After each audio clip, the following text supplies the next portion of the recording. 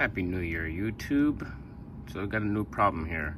If you ever experience a situation where um, you're installing a fresh new installation of uh, Windows 10 Pro, I don't know if this is for Windows 11. Uh, you can check to see if this works for you as well. But right now I'm working on Windows 10. Um, it actually just got decrypted, but this is a situation where it's a fresh installation of Windows and you're um, dealing with a BitLocker uh, encrypting and you know you're trying to update a BIOS on a Dell machine uh, or at least in this situation it's a Dell machine.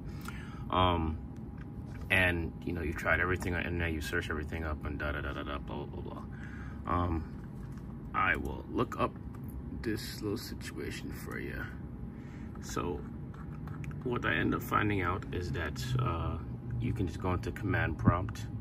Uh, you just have to go into command prompt as an administrator um, type in this script right here, right here, manage dash BDE space dash manage, and then it'll show you the status of your BitLock. As you can see right here, it said before it is encryption in process. I did not do that. It just did it like automatically by itself.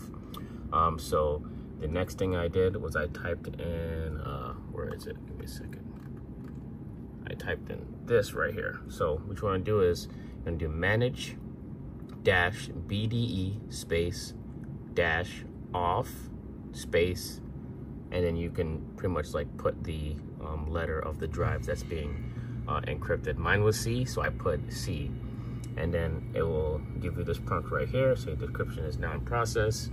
And um, like you saw in my device manager, it is now uh, decrypted all you have to do is uh, restart your system and you'll be totally completely fine to go. You can install uh, the BIOS as you see fit. I hope this helps anyone out there that has been having some problems with this crap because I spent like a whole day trying to figure this out. Alrighty, um, you're welcome. Have a good day.